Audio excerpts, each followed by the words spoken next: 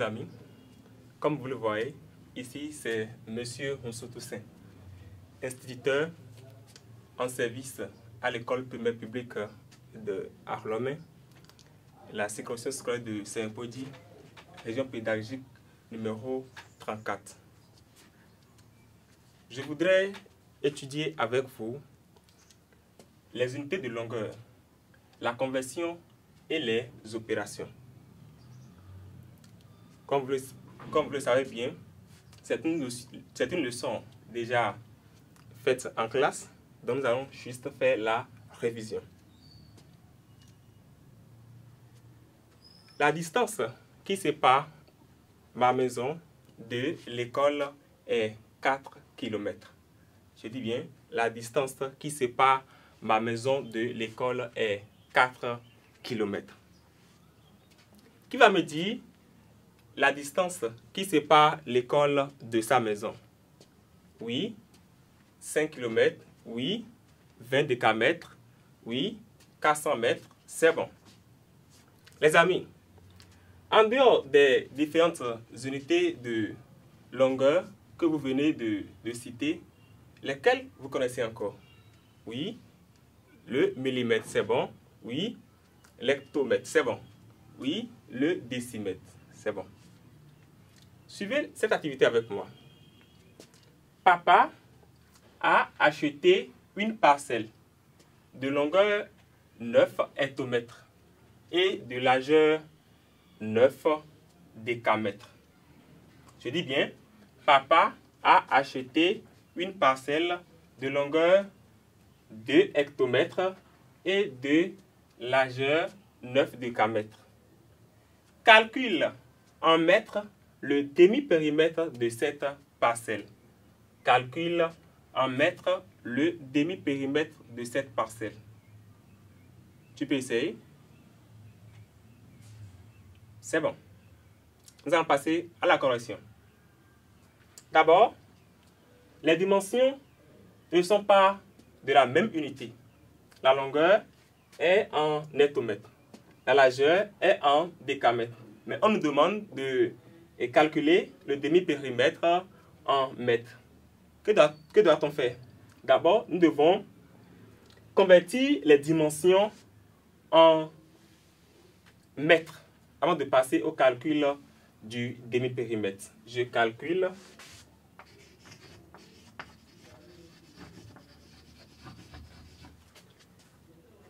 en mètres.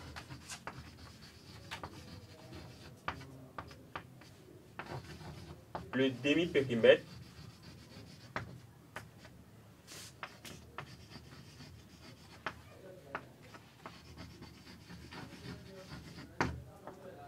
de la parcelle.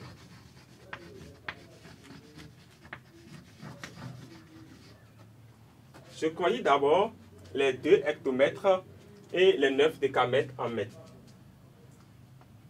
2 hectomètres Je vais me servir de tableau de conversion des unités de longueur. Le kilomètre, l'hectomètre, le décamètre, le mètre, le décimètre, le centimètre et le millimètre. J'inscris les données dans le tableau de, dans le tableau de conversion. 2 hectomètres que je convertis en mètres. J'écris des zéros jusqu'à la colonne demandée. Donc, 2 hectomètres fait 200 mètres. Maintenant, la largeur. 9 décamètres. 9 décamètres. J'inscris 9 décamètres dans la colonne des décamètres. 9 décamètres en mètres 0 ici dans la colonne de mètres. Donc, ça fait 90 mètres. Maintenant, je peux passer au calcul de demi-périmètre. Et c'est que le demi-périmètre est égal à la longueur plus la largeur. Ici, la longueur, la longueur est 200 mètres. Donc, J'écris 200 mètres plus 90 mètres. Je fais mon calcul. 200 plus 90.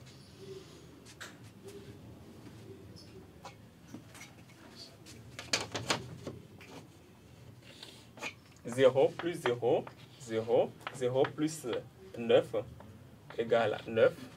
2 plus 0 égale à 2. Donc ça me fait 290 mètres.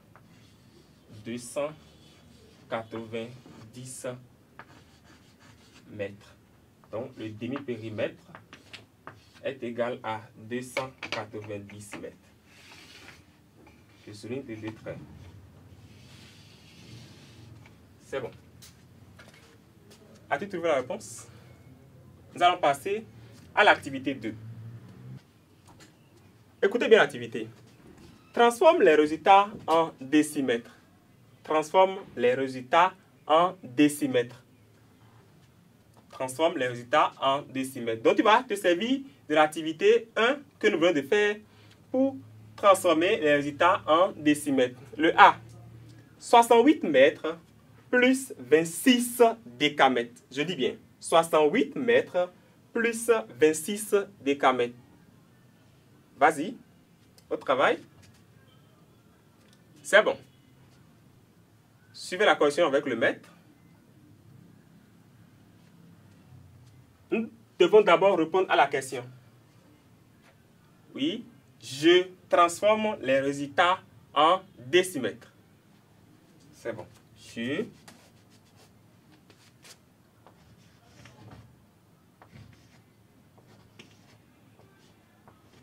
Je transforme les résultats en décimètres. Le A.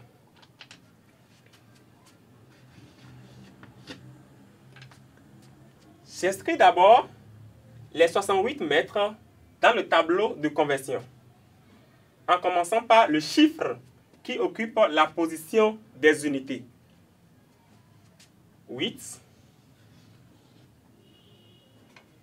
et 6 que je veux convertir en décimètres.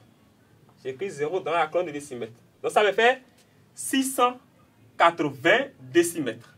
Cela me fait 680 décimètres. Je note quelque part 680. Maintenant, j'inscris le, le, nombre 26 décamètres dans la colonne, euh, dans le tableau de conversion des unités de longueur. 6 dans la colonne de décamètres parce que c'est 6 qui occupe la position des unités.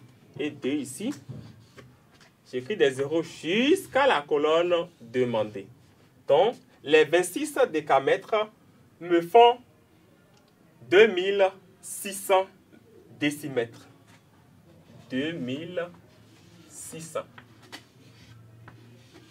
À nouveau, je fais la somme.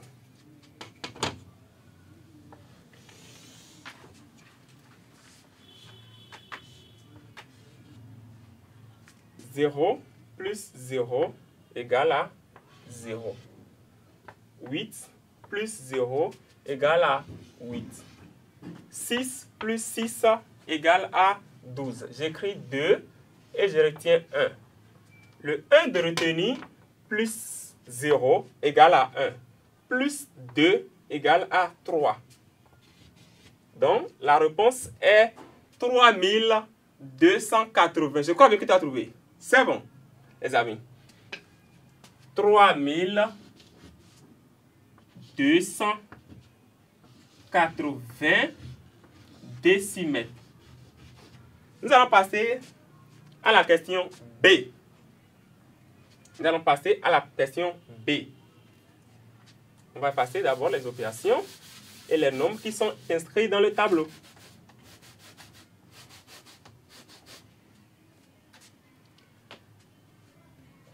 23 décamètres. 23 décamètres que je vais convertir en décimètres. 0, 0, c'est bon? Moins 16 mètres. S'inscrit rapidement. S'inscrit 16 mètres, 6 et 1.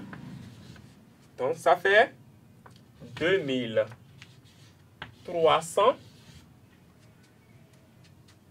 moins 160. 160.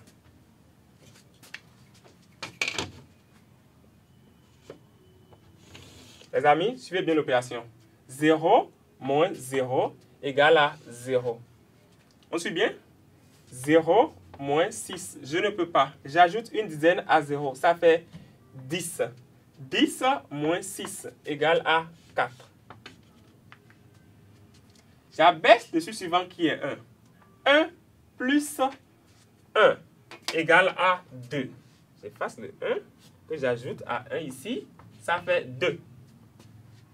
3 moins 2 égale à 1. Je nettoie. 2 moins 0 c'est égal à 2. Donc, le B est égal à 2140 décimètres. Je crois que tu as trouvé. Bravo. Les amis, voilà que nous venons faire quelques activités sur les unités de longueur, la conversion et l'opération.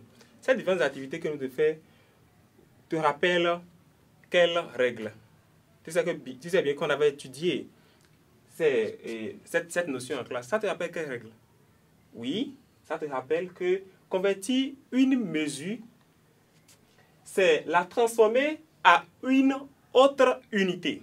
Je dis bien, convertir une mesure, c'est la transformer à une autre unité. Si par exemple, j'ai 2 mètres que je vais transformer en centimètres, ça veut dire que je vais convertir. 2 mètres égale à 200 centimètres. On me suit bien. Maintenant, pour effectuer des opérations, que soit l'addition ou bien la soustraction, il faut que les mesures soient de la même unité. Je dis bien, pour effectuer des opérations, l'addition ou la soustraction, même parfois quand tu veux calculer les d'un rectangle, tu sais, tu, tu vois bien. Donc il faut que les mesures soient de la même unité. Maintenant, il faut toujours convertir avant d'effectuer les opérations. Il faut toujours convertir avant d'effectuer les opérations.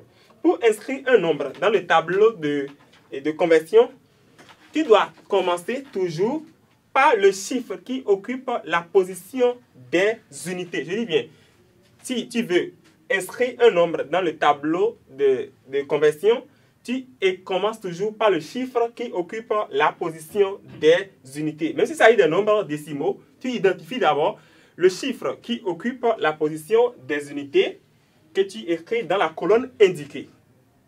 Effectue les opérations suivantes. Vas lire toutes les opérations. Effectue les opérations suivantes à 29 km moins 48 hectomètres. La réponse en décamètres. Je dis bien 29 km moins 48 hectomètres. La réponse en décamètres. Va, essaye. Je vais donner la réponse. C'est égal à 2000.